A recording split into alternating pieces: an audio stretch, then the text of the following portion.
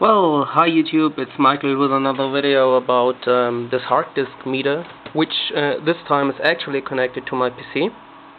You can see this here. This is the meter.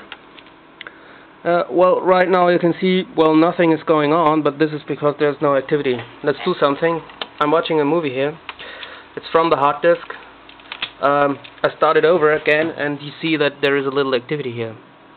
Right? It's always when, when it loads data from the disk into the cache and so on. Let's stop this and um, let's make a little more activity by executing updatedb which uh, updates um, uh, the database and this makes a lot of I.O. You see?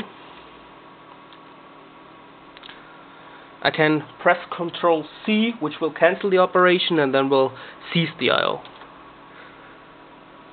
Yeah. Oh yeah, you can see this. Um, I have these bar graphs here. It's also, well, no, where is it? This. It's also showing the the activity of the hard disk. Uh, um, let's do a sync.